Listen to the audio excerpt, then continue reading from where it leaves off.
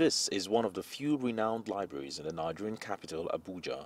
It has space to accommodate more than 50 readers at a time, but barely 20 people come here to read on an average day.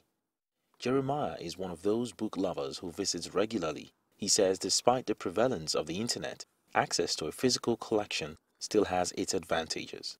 I use the library these days because, um, number one, um, the serenity I obtain here, and um, number two, I have access to some information that I have that are scrambled if I want to get them online. Perhaps I have to pay or subscribe.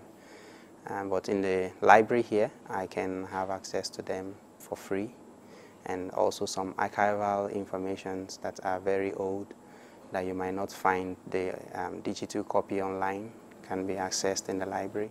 Nigeria is currently rated by the World Culture Score Index as one of the world's worst countries in terms of its reading culture, especially when it comes to reading traditional books. And with the advent of the internet, the conventional method of reading or accessing information in libraries is gradually fading away.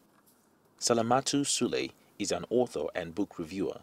She says this trend is as a result of various online platforms that tend to distract many young people.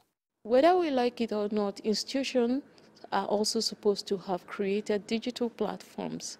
So therefore, they are supposed to have solutions such like providing mechanism to restrain an average reader from so many social media handles, so thereby restricting them to some of these critical books that you're supposed to be reading. The internet, though, has helped some readers who no longer have to own a physical book to acquire content anymore.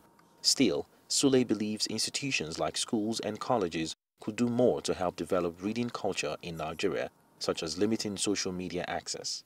There are so much factors that, um, you know, take um, most readers away from reading their um, books I mean, critical books that um, are information savvy and cultural, uh, culturally, I mean, engaging.